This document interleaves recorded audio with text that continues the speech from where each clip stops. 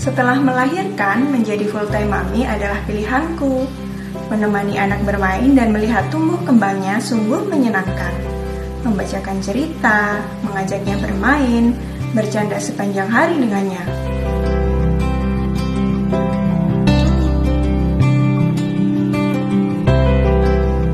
Walaupun terkadang juga harus melakukan beberapa pekerjaan di rumah sambil menjaganya.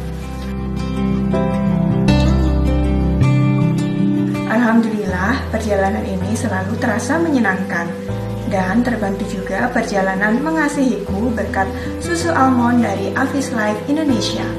ASI menjadi lancar dan kental, tidak khawatir lagi untuk mencukupi kebutuhan ASI baby Nixie. Terima kasih Avis Life Indonesia untuk selalu mensupport ibu menyusui seperti aku.